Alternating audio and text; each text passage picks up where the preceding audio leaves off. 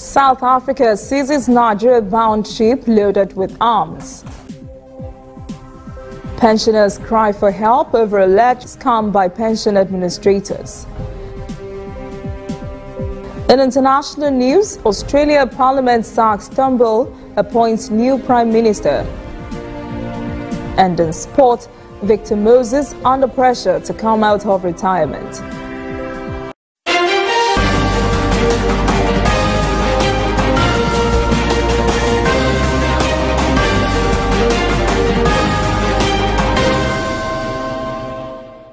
This is ANN News. I am Olajumoke Olatunji. The National Joint Committee on Independent National Electoral Commission will resume deliberations on Monday. Members of the committee are expected to take a decision on whether to approve 143 billion naira of President Buhari's request of 189 billion naira to fund INEC's budget for next year's election. INEC says the president's requested amount is the total requirement for the 2019 general elections. We're still in the National Assembly and this time the PDP caucus of the House of Representatives has blamed President Buhari for his delay in signing the 2018 electoral bill. The caucus said the bill had innovations to promote the conduct of free and fair polls next year. The chairman, House Committee on Justice, says one of the key features of the bill was the electronic transmission of results from polling units. He says that will lead to a faster declaration of results and will make it more difficult to tamper with results. But the APC caucus says there has been conflicting National Assembly positions on the bill. The caucus said the president will get back to the National Assembly when he returns from recess. Away from the National Assembly, seven years after Governor Rochas Okorocha sacked 27 local council chairmen and 645 councillors in Imo State, the electorate will head to the polls on Saturday to elect new representatives. Okorocha sacked them after defeating former Governor Ikedi Ohakim. He accused the administration of breaching the court ruling that restrained the government from conducting the council elections. Okorocha said the sack was based on the string of irregularities, unconstitutional breaches and other issues. While APC had announced its readiness for the polls, PDP says it would boycott the exercise, citing fears that the poll would not be credible. Now, this next story is really bad PR for Nigeria. A Nigeria-bound Russian ship has been detained in South Africa for carrying illegal arms. The cargo ship was arrested near Port Elizabeth. Security checks on the vessel reviewed 20 containers of arms and explosives believed to be legal was heading for Nigeria's commercial city of Lagos and the United States. The prevalence of small arms is believed to be the cause of the violent crimes being perpetrated across the country. Investigations are ongoing. The Republic of Benin and Niger have paid $10 million to offset their electricity bills to Nigeria to avert being disconnected.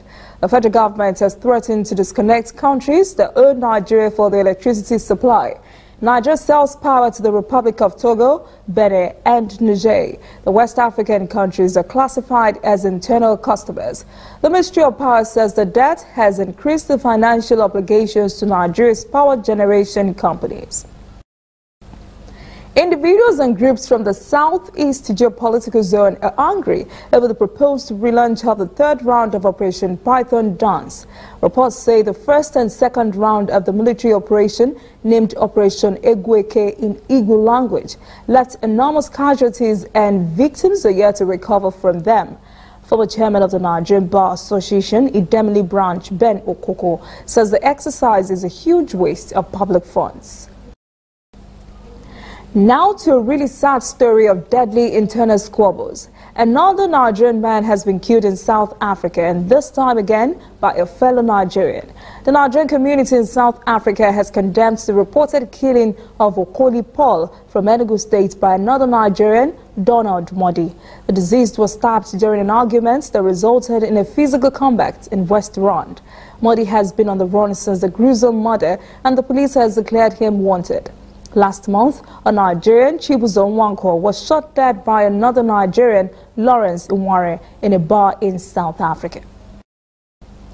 Pensioners are crying out for help over alleged scam by PenCom and some pension administrators. They're asking the federal government to save their lives by ending shorted payments by some pension officers. One of the pensioners said despite the National Assembly Act of 2014 stipulating a payment withdrawal program of 25% minimum, some retirees were paid only 20% of their entitlement in July. The pension administrator said the retirees were paid according to instructions from PenCom. The Association of Bureau de Change of Nigeria has kicked against the ongoing suspension of BDC accounts by banks and demand for tax remittances on turnover volumes. ABCON President Aminu Gwadabe says banks are acting under the directive of Federal Inland Revenue Services to demand that BDCs pay taxes on funds used to bid for their dollar allocation sent to the Central Bank of Nigeria through commercial banks on a weekly basis. He said many of the affected agencies are already facing major challenges that need to be addressed immediately. Gwadabe also said ABCON will continue to implement zero tolerance for non-compliance with regulatory requirements among its members. There are indications that the rift between Oyo State government and the owner of Fresh FM Ibadan, Yinka Ayefele, will soon be over. Ayefele and the Alaafin of Oyo, Oba Lamidi Adeyemi, were at the governor's office accompanied by other monarchs to meet with the governor. The 30 first-class traditional rulers were led by the Alaafin. The meeting addressed the issues generated by the partial demolition of the radio station structure. Ayefele was reported to have apologized to the governor and expressed readiness and amicable resolution to the matter in the interest of peace. Up next, African stories and later, Australia gets a new prime minister in brutal party coup.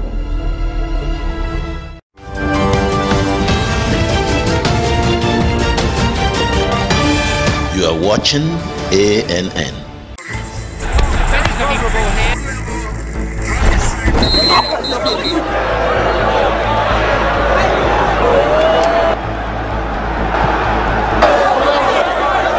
Super Outwoof. MTN gives 2000% bonus for reactivating your MTN SIM.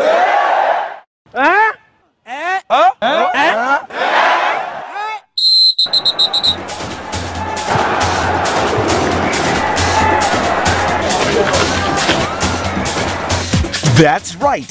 If you haven't used your MTN SIM for 45 days or more, recharge now and get 2000% bonus. That's right, 2000% bonus for your first recharge of every month.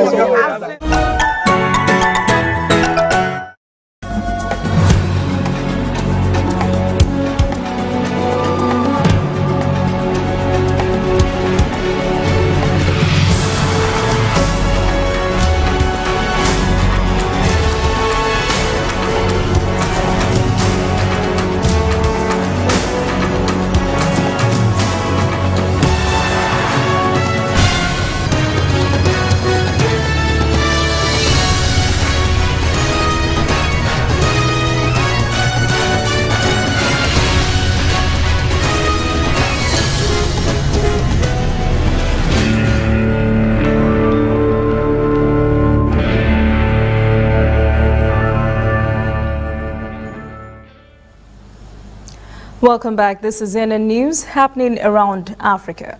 A doctor in Eastern Democratic Republic of the Congo has been hospitalized with Ebola. Earlier today, we reported the death toll had hit 61. World Health Organization, WHO, said on Friday 97 of the doctor's contacts have been identified in an area almost entirely surrounded by armed militia. WHO says it is the first time it has a confirmed case and contact in an area of high insecurity. The outbreak began earlier this month in Mangina, North Kivu province and has now spread into neighboring Ituri. Aid agencies have raised concerns over a looming humanitarian crisis in southern Ethiopia. Following recent clashes, they have displaced tens of thousands of people after a wave of intercommunal clashes along the border areas. It has been reported that people are living in really dire conditions with schools and colleges being converted into temporary homes for the thousands of displaced persons. Malnourished children, pregnant women and the aged share very small spaces which are exposed to the rains. Rainy season have made some roads impossible, further complicating the delivery of much needed aid to more than 1 million people. Dozens are believed to have died in a further wave of violence which erupted in March. Prime Minister Abiy Ahmed has condemned the clashes witnessed in various parts of the country and promised to crack down on the perpetrators. More than 2 million people have been forced to flee their homes in Ethiopia because of ethnic conflict and droughts. Zimbabwe's Constitutional Court is ruling on Friday on the May's opposition challenge to the result of last month's historic presidential election. Security is tight in the capital Harare as the court determines whether President Emmerson Mnangagwa's narrow victory is valid. The opposition claims vote rigging and seeks either a fresh election or a declaration that its candidate, Nelson Chamisa, won. If the court opposes Mnangagwa's win, the inauguration would take place within 48 hours. The ruling cannot be appealed. A credible vote is key to lifting international sanctions on Zimbabwe as the Southern African nation tries to move away from the long shadow of Robert Mugabe's 37-year rule. The July 30 vote was peaceful, but scenes of the military sweeping into the capital two days ago to disperse opposition protesters led to fears that the government of Mnangagwa, a former Mugabe enforcer, was stuck in the past despite declarations of reforms.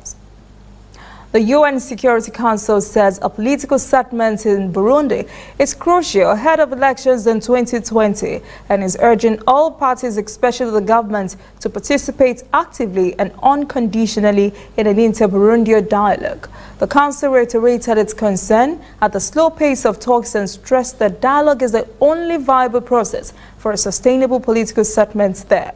Council members urge all relevant parties, including national, regional and international actors, to ensure a peaceful new round of negotiations. The Security Council said it expects the 2020 elections to be free, fair, transparent, peaceful and fully inclusive. It added that considerable improvements to the political and human rights situation are necessary to enable credible elections. The Sahel state of Niger said on Thursday it has sent security reinforcements to parts of its borders struggling with an influx of displaced people and criminals from neighboring Nigeria. The measures have been taken in the Maradi area on the southern central part of the border near the northwestern Zamfara state. Maradi Governor Zakari Umaru said they are currently registering many refugees. Whole families who are coming over he said the refugees were mainly coming from Zamfara, but did not give numbers or say why they are fleeing to Niger. He added that plenty units have been deployed on the border. A Maradi president said regions all along the border with Nigeria were now prone to cross-frontier crime, particularly cattle theft by armed Nigerian gangs. Libya has refused to take in a group of 177 migrants stranded on an Italian Coast Guard boat of a Sicilian port after Rome insisted they would not be allowed to disembark. Italy's Interior Minister Matteo Salvini threatened earlier this week to return the migrants to North Africa unless other European governments offered to take in some of them.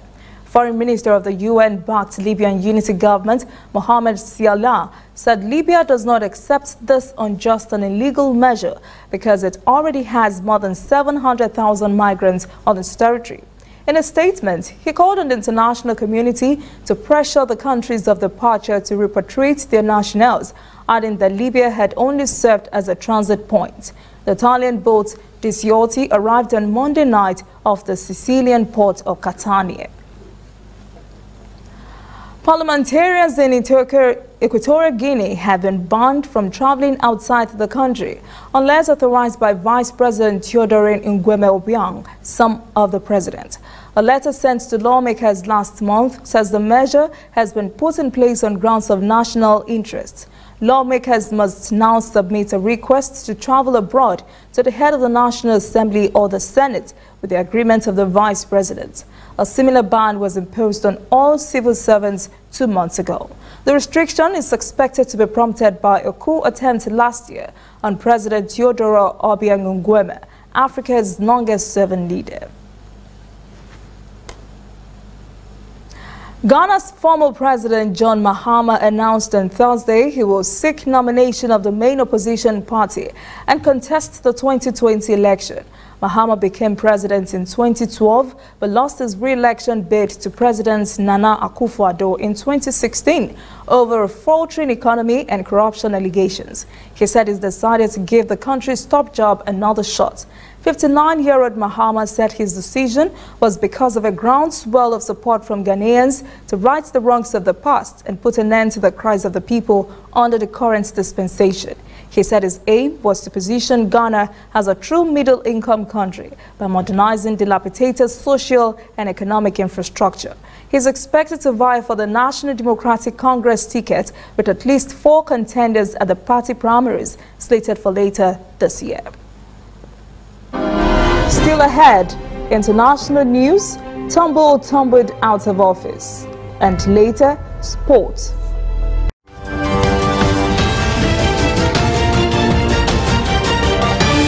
You are watching ANN.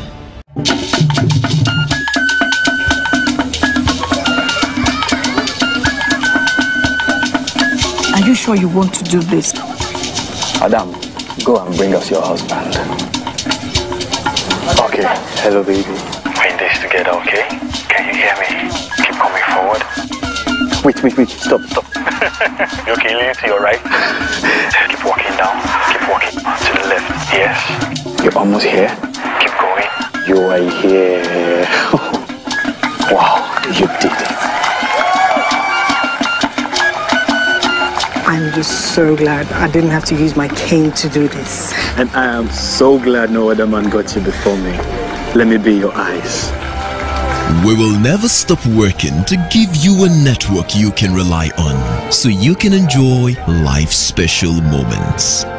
MTN, everywhere you go. I am Lucy Adeyemi. I am Rotimi Akintunde. I am Olajumoke Olatunji. We bring you the news on ANN News. Business.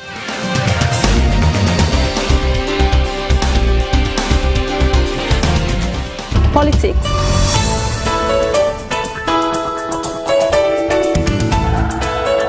Global News. Watch ANN News. In a truly African spirit. Welcome back. This is ANN News. Now global news.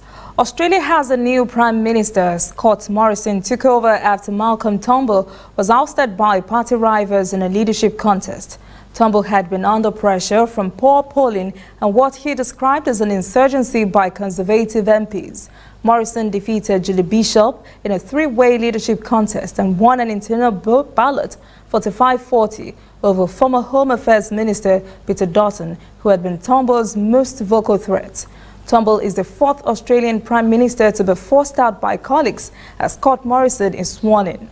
Turnbull was ousted without completing his three years in power, and Morrison has become Australia's 30th Prime Minister and the seventh in a decade. U.S. President Donald Trump has responded to speculations that he might be impeached, warning that the move would damage the economy. Trump said everybody will go poor and the markets would crash if he were impeached. He spoke in a television interview after his former lawyer, Michael Cohen, pleaded guilty to violating election laws. Cohen says he handed hush money payments to two women at Trump's direction during the presidential campaign two years ago. But Trump insists the two payments had not broken election campaigns. He said the payments had come from him personally and, would, and not from the campaign, a point that reportedly contradicts evidence gathered from Cohen's office. Analysts say it is unlikely the Republican House majority will try to impeach him before midterm elections in November. Hurricane Lane is moving heavily toward the U.S. state of Hawaii, bringing it with its strong winds and torrential rains and causing flooding and landslides. This has led to the closure of schools and offices as residents took cover from the storm. President Donald Trump earlier declared a state of emergency, saying federal authorities were on standby to provide support and supplies to local and state emergency response efforts. National Weather Service says while the storm had been downgraded, the situation remains dangerous and severe flooding is a major concern. The European Union has agreed on 18 million euros in aid for Iran to help its private sector. It is also intended to help offset the impact of U.S. sanctions and salvage a 2015 deal that saw the country limit its nuclear ambitions. The announcement is part of the bloc's efforts to support the nuclear accord the President Donald Trump abandoned three months ago. EU's foreign policy chief Federica Mogherini says the bloc was committed to cooperation with Iran Mogherini said the aid will widen economic and sectoral relations in areas of direct benefit to EU citizens. Police in Argentina have started searching properties belonging to a former president of the country, Cristina Fernandez de Kirchner, as part of a major corruption investigation. Her houses in Patagonia and Buenos Aires were raided after Judge Claudio Bonadio asked to partially lift Fernandez's immunity as he investigates bribery allegations during her presidency. Fernandez has denied any wrongdoing. She described the investigation as shameless, complaining she was the first elected senator to be searched. Fernandez still voted on Wednesday for her immunity to be lifted to allow the search of her three properties to continue. She also instructed her colleagues to do the same. Coming up, sports. Coaches pressure Victor Moses to come out of retirement.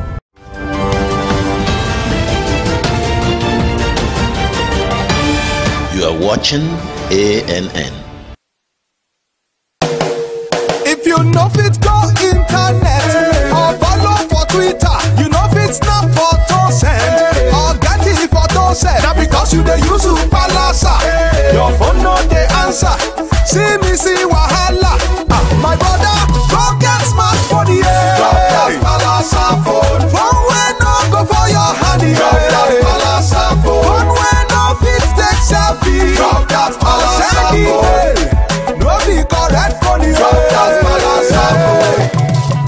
Upgrade to a smartphone today and get double data for 6 months on any MTN data bundle you buy. Simply purchase a smartphone from any store anywhere in Nigeria or bring your current smartphone from any network. Insert your MTN SIM card to start enjoying your double data bonus. Offer is open to all new and existing MTN subscribers. Join the largest smartphone movement today. Make it for your hand,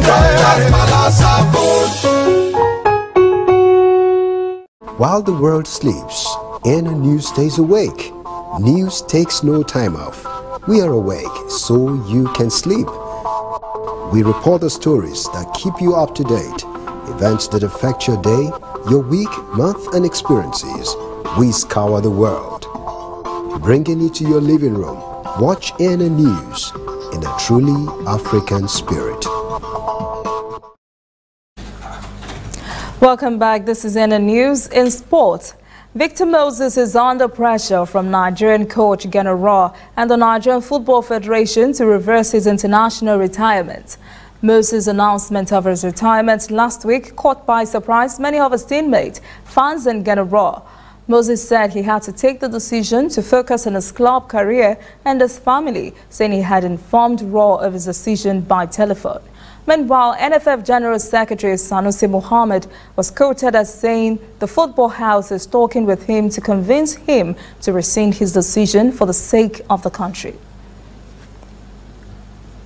As part of efforts to improve the nation's Olympic performance, the Nigerian Sports Development Fund will inaugurate a 90-day campaign at the end of next month to raise 900 million naira for 90 athletes preparing for Tokyo 2022. Director General of NSDFI, Olajife Fashikun, says Nigeria's Olympic outings in recent times have not been encouraging, saying it must change with the support of Nigerians. The DG said they intend to give each of the 90 athletes five sports 10 million naira elite athletes development grant. Fashiko said a seven-man committee will manage funds that will be raised. That is the end of news this evening. Thank you for joining us. For details on this and all the stories, visit our website, tnnafrica.net. Conversation continues on our social media platforms, Twitter, Instagram, and Facebook at TNN Africa TV. I am Olajumoke Olatunji. Have a great weekend.